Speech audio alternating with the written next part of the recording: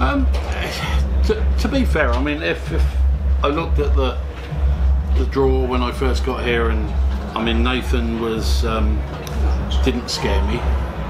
Um, I've played better players than Nathan and beaten them, but that's no disrespect to Nathan. Um, the lad's a great player. He's a, he's a nice lad. He's a great player, and he'll he'll win copious amounts of more tournaments. He, he just will. That's that's what he does. Um, that didn't worry me a little bit.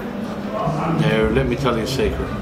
Now, I've known Gary for 20 plus years, and I sat and I watched him for three to four hours practice, and he was hitting 130 plus average for the entire time. Now, I'm one of the world's best. Even when I was world number one, I couldn't do that. That scared the living crap out of me when I say that, and he's the only player that's ever done that to me. Taylor, not bothered.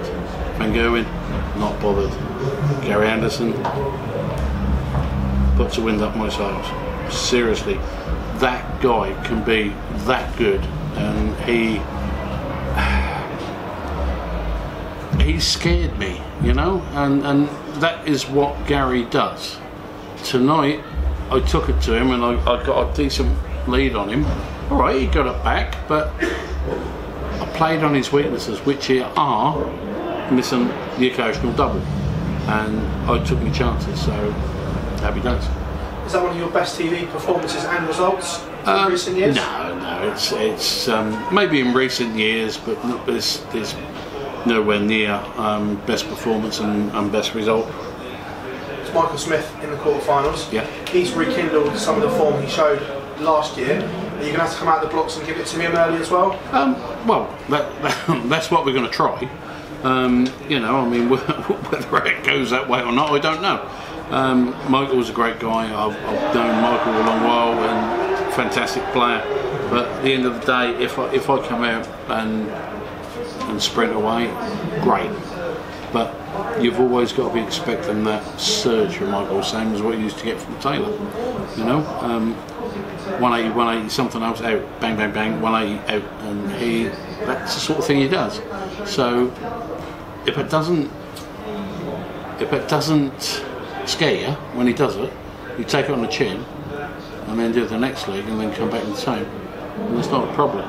But if you think, whoa, hang on a minute, whoa, all of a sudden you're going 41, 60, 45, then they'll just rip you a new one. We know in Prague he struggled with the heat on the Euro Tour. Yeah. And it's obviously very hot in here as well. Any Yeah. ill effects or you back to full health after that struggling with the heat? To be honest with you, this is uh, nothing compared to what it was like in Prague. Um, people shouldn't be shouldn't have been playing and shouldn't have been working in that heat. It is ridiculous. It was over 65 degrees on that stage, um, and I was moving. God knows what it was like for the for the officials that were standing there and not moving. I mean, they must have been melting. Uh, many congratulations on a fabulous result here in Blackpool. Cheers. Thank you. Best performance.